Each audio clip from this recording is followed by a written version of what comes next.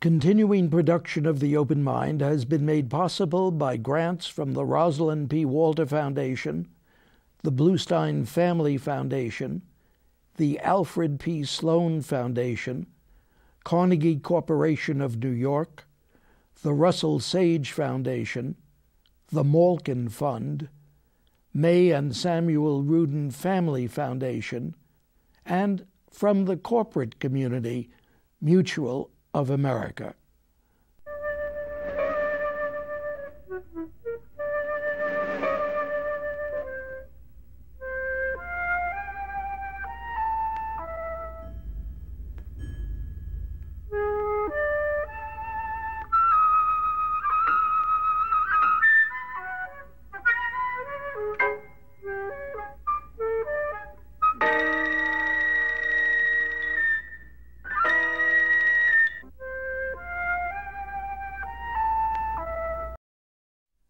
I'm Richard Heffner, your host on The Open Mind, and my guest today, writer Susan Jacoby, has in her new Pantheon books truly brilliant but equally depressing The Age of American Unreason, picked up where my teacher and friend, Pulitzer Prize winning American historian Richard Hofstadter left off two generations ago and with skill and insight expands upon his now classic study of anti intellectualism in American life. As presidential historian Douglas Brinkley comments about her book, with analytic verve and deep historical knowledge, Susan Jacoby documents the dumbing down of our culture like a maestro. Make no mistake about it, this is an important book. Now, Ms. Jacoby quotes Thomas Jefferson to begin her Age of American Unreason. Jefferson, 1816. If a nation expects to be ignorant and free, it expects what never was and never will be, which, of course, is why I too use as the title of our open mind today the thoroughly disheartening but now so often heard phrase, the dumbing down of America. Indeed, in this presidential election year, I would ask Susan Jacoby to answer her own book's ultimate question Is it possible that American voters have learned something about the consequences of choosing an intellectually challenged chief executive? Fair question? Fair question. Uh, we'll find out. Let, I think that, for example, uh, I'm not even going to talk about the Republican side, uh, but in the Democratic primaries, which basically have boiled down to Hillary Clinton and Barack Obama. Now, these are two very intelligent people. These are two also extremely well educated people. I have to say that one of the things that has really disheartened me in the last few weeks, which is to say, since since the contest came down to the two of them, is all of these accusations of elitism flying around. Uh, I just heard Hillary Clinton uh, say, and, and, as you know, uh, she and John McCain have both proposed a gas tax holiday in the summer, which every economist in the nation thinks is an idiotic idea, which will do nothing. It will just provide more profits for the oil companies. And I heard Hillary Clinton say, well, that's just elite thinking. In other words, why listen to those stupid old economists? What do they know? We want to give relief right now to people who are suffering at the gas pump. Now, Obama, to his credit, said no. Every economist says that that would, would do nothing for people. Now, the question is how do the American people think about this. Right now, we have state legislatures also running to fall in line behind this stupid gas tax proposal uh, if people understood what a tiny proportion of their money for gas actually goes for the federal tax, then they would they would not be fall for that proposal. So we'll your see. answer is no. We haven't changed. I don't know.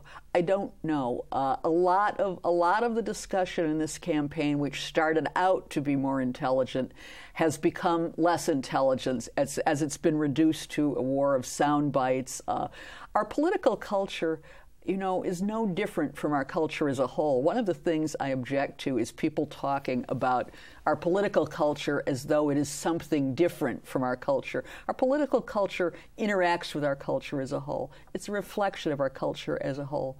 I've had left wing talk show hosts ask me a leading question because obviously I am a liberal, I am a Democrat uh, asked me, Don't I think that George Bush is responsible for the dumbing down of America? No, I don't. I think that anybody with Bush's lack of intellectual curiosity, inability to speak a decent English sentence, that he could be considered for the presidency, is a reflection of the dumbing down of our culture, not a cause. And then after that, what happens? We did whatever happened in 2000, we did in 2004, elect him again. You and I might think for the first time. for, the, for, for the first time. Uh, but we did as a people. We accepted, indeed embraced, uh, with the war going on and all of that. So that your book is, I gather, rightly depressing in its picture of an American intellectual level. Well, you know, let, let's let's let's just let's move away from the election for a second and think about about issues. Uh, I myself was surprised at some of the studies I turned up that I cite in this book. Uh, the worst one, I think, is the National Geographic Roper poll of Americans from 18 to 25. After all, the age group that's doing nearly all of the fighting and dying in Iraq. And two thirds of them can't find Iraq on a map, a map that's marked with the names of countries. But more than that, when when people were asked in this age group were asked, is it important to know a foreign language, or is it important to know the location of countries in which important news is being made? More than half of them said no. So, not knowing where Iraq is on a map, that's ignorance. Saying it's not important to know where it is on a map is saying I'm ignorant and proud of it. Well, then let me ask you what is the uh, thrust of your beginning the book with the quote from Jefferson? Are you prophesying here that having dumbed down, we cannot also be free? I consider it a cautionary quote if things keep going the way they're going, if there isn't if there isn't some kind of a concerted effort to deal with this problem, I don't see how anything in our political culture can get better. But you seem to be still to me you seem to be uh, kind of so uneasy about that Jeffersonian thought. Here it is. You can't dumb down and be free. I am uneasy about it. Uh, I mean, we can be free technically in the sense that we go to the polls, but but certainly the founders thought it was it was really their main article of faith that democracy and maintaining it depended on an informed citizenry, a citizenry that was much more widely informed and more committed to free inquiry than the United States was at the time of independence. Uh, that's why they had they had a lot of faith in education. But as your old teacher Hofstadter pointed out, uh, democratization of education was always coupled in America with a suspicion of too much learning. So that uh, the idea of practical learning for better jobs and maybe better citizenship was always an American ideal. On the other side, it was always this suspicion of the person who knows too much, talks too good. So the pandering isn't all that new. No, the pandering the pandering isn't all that new. But what has changed in the last 40 years, and uh, again, Hofstadter couldn't have anticipated this. He was writing really at the beginning of the video culture. What has happened, I think, that has added to all of the endemic American anti intellectual tendencies that Hofstadter talked about is the saturation of our culture by 24 7 infotainment, which was just beginning. Uh, and it, it shows itself in the fact that we are becoming a nation not of illiterates, but as I say, of aliterates. We are people who increasingly don't read books. According to the National Endowment for the Arts in 2006, only more than half of Americans under 44 read no book at all last year, other than what they might that might have needed to read if they were still in school. By that I mean no book. I don't mean that they didn't read Proust or Henry James. I mean that they didn't read any book. No detective story, no bodice ripper romance, no self-help book, nothing. Then you agree with my other late friend, Neil Postman, that we are amusing ourselves to death. Yes. Uh, and Neil Postman's book, which was published in 1986, was very prescient. He did, he was published that book at the dawn of the computer era. He, you know, in other words, he hadn't seen what the what the what the visual use of the web would do and how it would how greatly enhance the ability of people to entertain themselves 24 hours a day would be by mobile digital technology. You know, we've become so used to this and the fact is, it's only 10 to 15 years that we've had the capacity through various portable devices to carry our entertainment with us 24 hours a day if we want to do it. And if you ride a bus in New York City, you know that a lot of people do want to do it. And the consequences, more dumbing down. The, the consequences are that for every every time you spend in passive forms of acquiring information and entertainment, you're not doing something else. Now, if you've read any of the reviews of my book, you see that some of them have taken me to task for being a technophobe, and I'd sort of like to answer the critics who aren't here. I'm not a technophobe. I simply point out that computers, the web, they're tools. They're wonderful tools. They're great tools for getting information.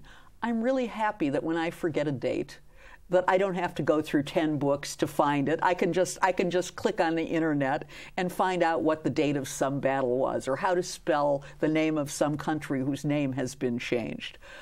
But that's just information. It's a shortcut to getting information.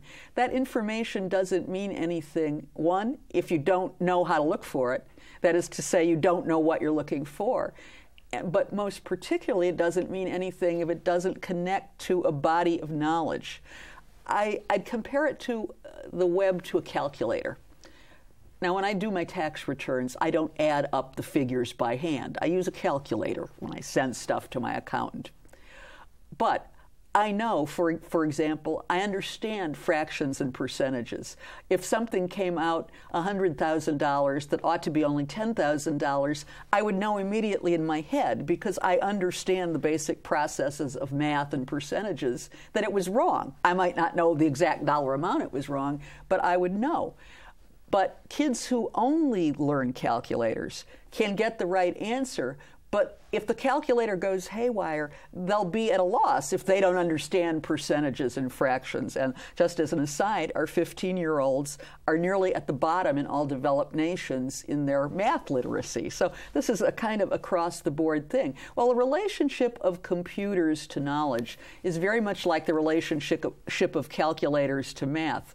What computers have in them is what we put in them what we get out of them is what we look for in. So if you're looking for if you're looking for great things, you can find them on the internet. And if you're looking for garbage, if what you want to do is watch people indicting their estranged spouses on YouTube and throwing up on YouTube, you'll do that. Garbage in, garbage out. Now a lot of people are very angry at me for saying that computers are are just tools, and I don't know why. Uh, what this may be one of the problems that America has is an almost childlike faith in technological solutions to every problem, as though what was on the web isn't what people have put there, as though it exists as some kind of a godlike source of knowledge. What then? You've been an historian here in this book. Turn out to be a prophet, and what do you prophesy? I really, I really hate to be asked that question. Uh, I don't feel very optimistic. I particularly don't feel optimistic because just since I've been writing this book, there has been a push by video marketers to reach the last untouched market, which are children from infancy to about two years old. Until a few years ago, what was available in videos was aimed at two years and above. Now they're, they're promoting various things like home box office's classical baby. They're promoting it for infants from six months old. And uh, when, when pediatricians, so the American Academy of Pediatrics says there is no safe level of viewing for kids that young because it stunts vocabulary development, among other things. Uh, uh, a psychiatrist from Harvard Medical School, who, guess what, is also a consultant to HBO, came out with the incredible statement to say that this kind of TV for babies is bad is tantamount to saying that art is bad. Well, this shows you, uh, this is the reason I called this book The Age of Unreason, by the way, and did not use the word anti intellectualism in the title. Uh, this is a, obviously a very well trained man making an utterly unreasonable statement. uh, unpaid, well trained person, do you think? I wouldn't know. I, I, I, assume nobody. I assume when you're a consultant to HBO, you get a consulting fee. you and I have to think about still another field, and that is prenatal uh, use of uh, television. Maybe there are bucks to be made there. Okay, you and you, I. You mean put a camera in the woman's uterus? I, I see it. I see it coming. Good business. Look, I'm I'm quite serious. I, I you are considered anti-technological. I'm so frequently called a luddite to my face. Uh, what is going to happen? Others don't seem to have experienced, though if you turn to Europe, you see that the electronic revolution, excuse me, has taken hold even more than it has here, but seemingly not with the same educational consequences. I think that is a really important question because obviously the empire of infotainment doesn't have any national boundaries. What makes us more susceptible in other cultures to the worst as opposed to the best parts of the digital revolution? Uh, I think one of one of the things that makes us more susceptible is something I already mentioned, which is our kind of love affair with technology, the idea that it is more than it is. Uh, the other thing that makes us more susceptible, I really believe, uh, is the fact that everybody who is brought up since World War II, let's say, everybody my age and younger, has been brought up with the idea that we're number one.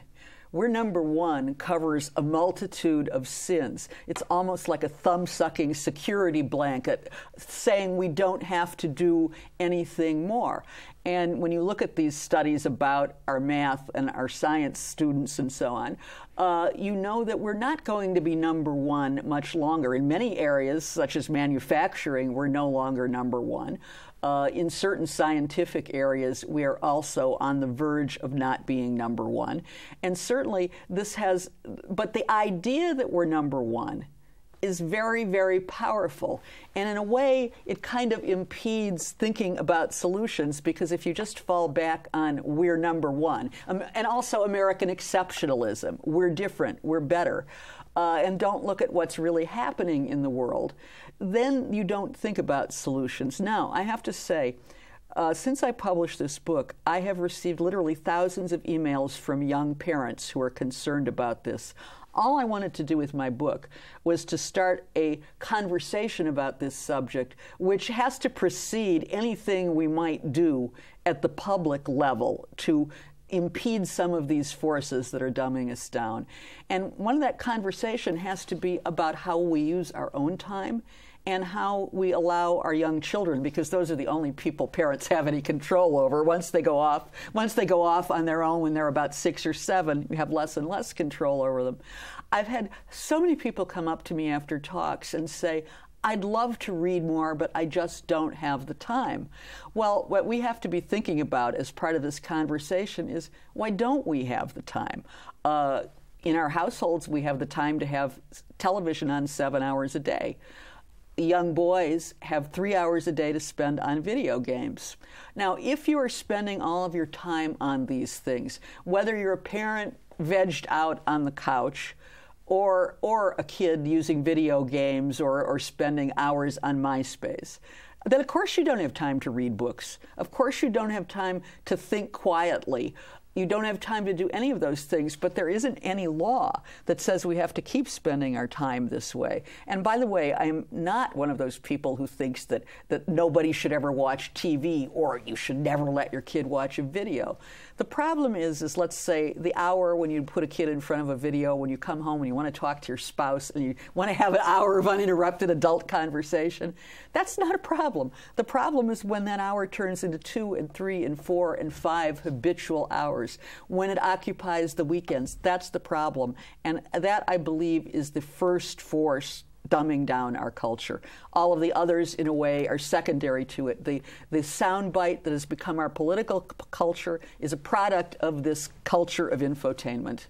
It's strange to me that what you don't say is that the American motto or theme or whatever you might want to call it, that the bottom line is our bottom line, and that we lure our children into these things. Uh, I'm surprised that you don't do that. But I, I, let me ask you something.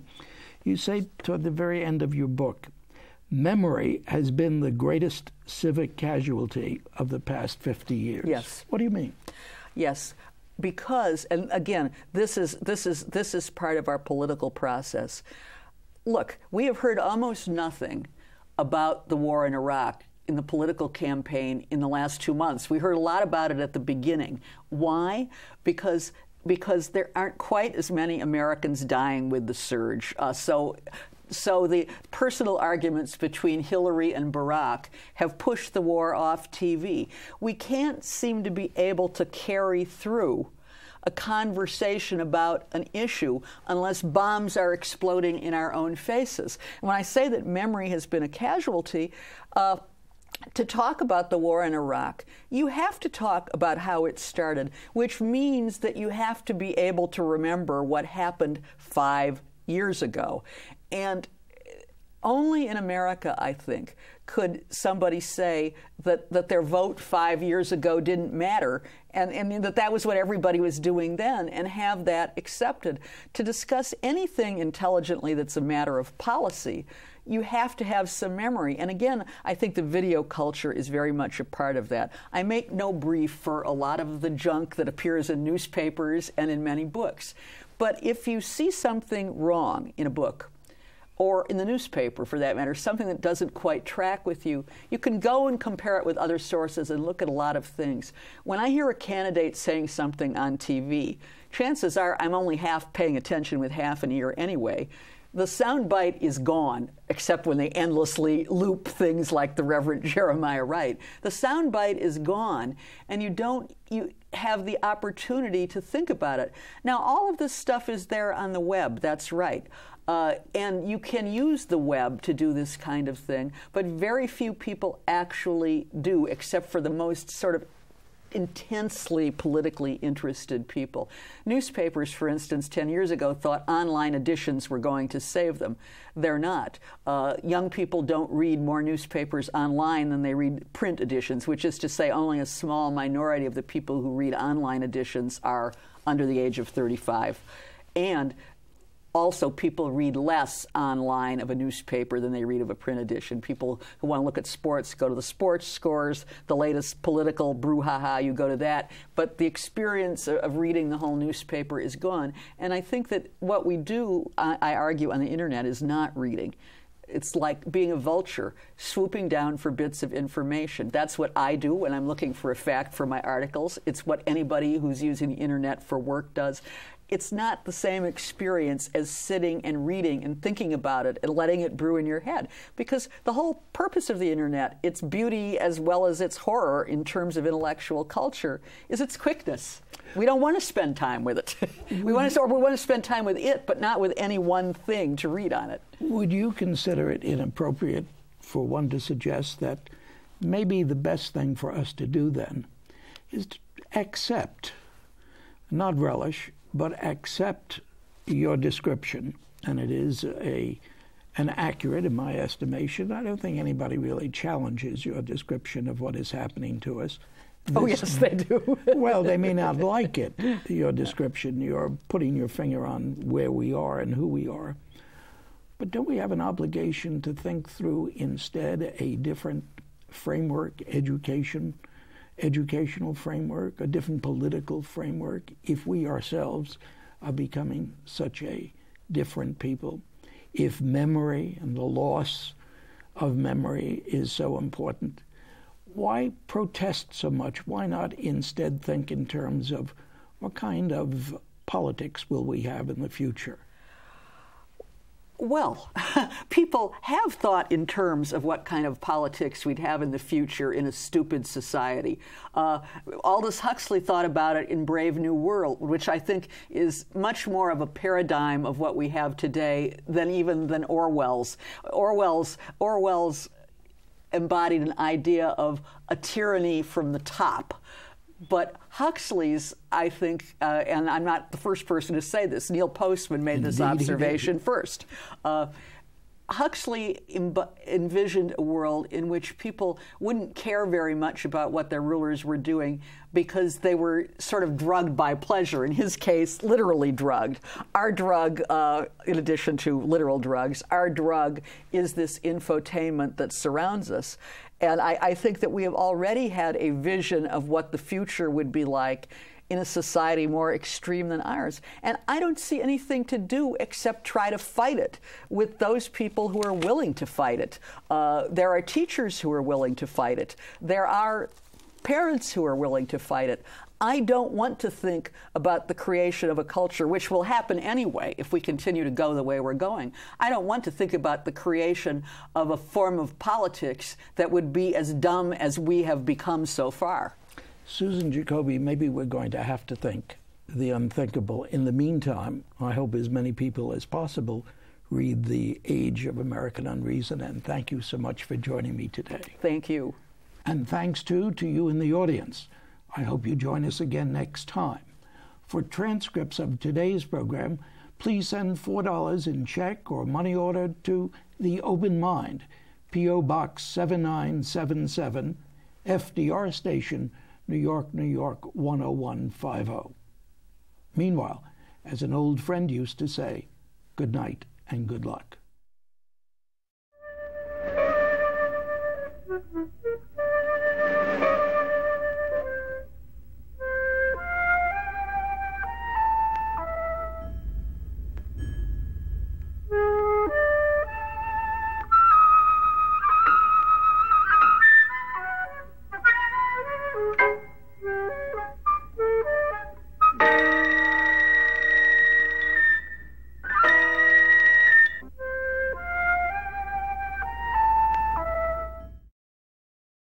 Continuing production of The Open Mind has been made possible by grants from the Rosalind P. Walter Foundation, the Bluestein Family Foundation, the Alfred P. Sloan Foundation, Carnegie Corporation of New York, the Russell Sage Foundation, the Malkin Fund, May and Samuel Rudin Family Foundation, and from the corporate community, Mutual of America.